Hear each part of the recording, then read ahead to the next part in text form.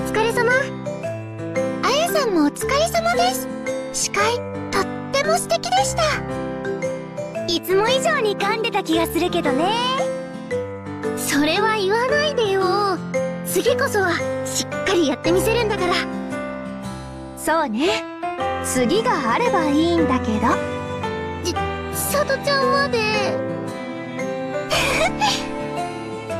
それにしてもささっきの心理テストあれすっごく面白かったよね。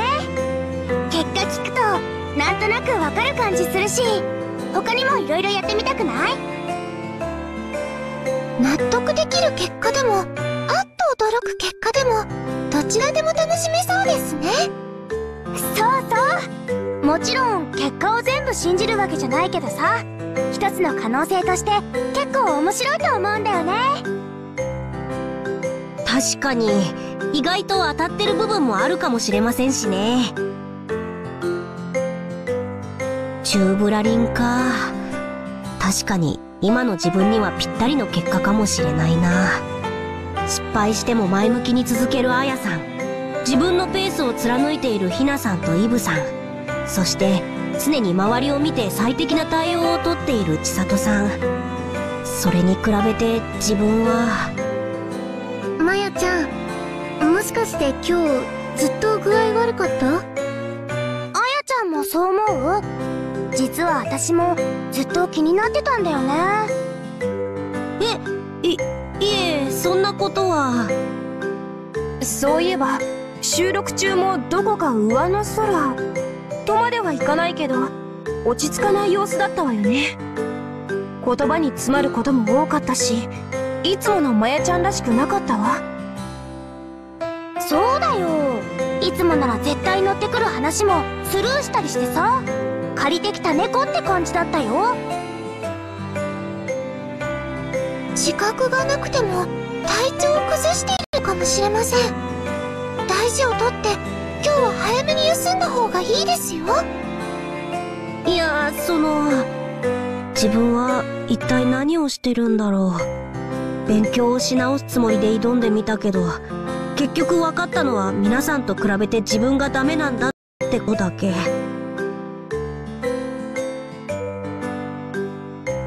皆さんにも心配をかけてオタクとしてもアイドルとしてもチューブラリン中途半端で。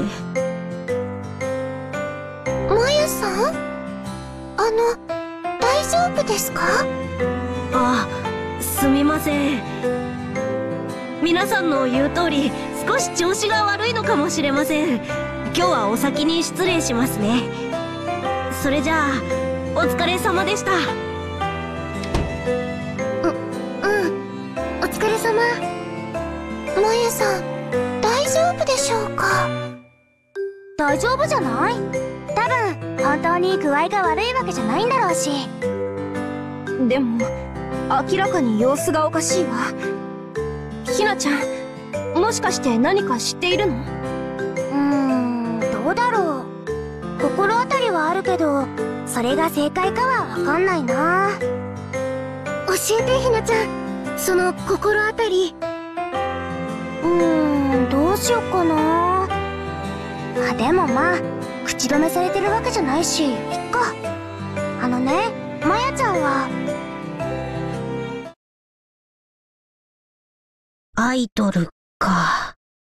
自分にとってアイドルは自分を貫いて輝きその姿で人に勇気を与える存在。それなのにどっちつかずな態度しか取れてない。このままじゃ自分はアイドル失格だ。